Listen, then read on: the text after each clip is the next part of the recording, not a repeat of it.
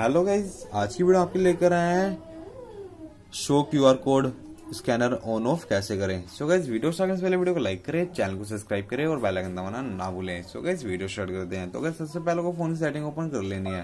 Phone की setting open करने के बाद आपको नीचे आना है।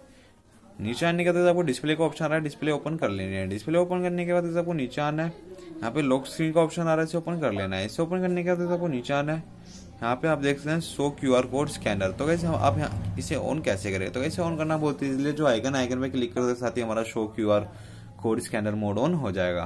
तो कैसे अब आप कहोगे कि इसे ऑफ़ कैसे करें? तो कैसे जैसे ऑन करा है, वैसे आप ऑफ़ कर सकते हैं। तो जैसे मैंने इस आइकन पे क्लिक करा, वैसे हमारा ऑन हो गया। जैसे आप इस आइकन पे क्लिक करोगे, आप, आपका show Q R code scanner mode off हो जाएगा। तो ऐसे अब आपका show Q R code scanner अपनी सेटिंग में जाके ऑन ऑफ़ कर सकते हैं। तो गैस वीडियो अच्छी लगी तो वीडियो को लाइक करें चैनल को सब्सक्राइब करें और बेल आइकन दबाना ना भूलें, जिससे हमारी कोई भी लेटेस्ट वीडियो आप जल्द से जल्द आ सके, आप हमारी वीडियो देख के अपने फ़ोन की प्रॉब्लम सोल्व कर सके। थैंक्स फॉर वॉचिंग वीडियो मिलते हैं नेक्स्ट वीडियो में। Tata bye bye